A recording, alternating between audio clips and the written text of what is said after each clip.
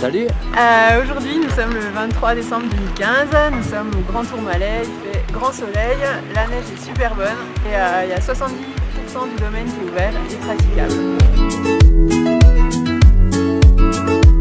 C'est super accessible. Il n'y a pas beaucoup d'attente.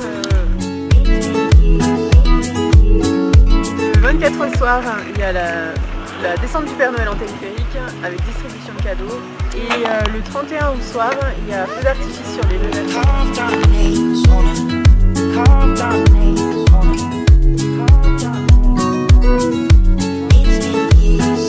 Station familiale, avec un bon paysage, un grand beau temps, magnifique. On s'éclate, ouais, il y a tout ce qu'il faut, petit restaurant, petit bar, euh, musique euh, le soir, éclate, danse, enfin.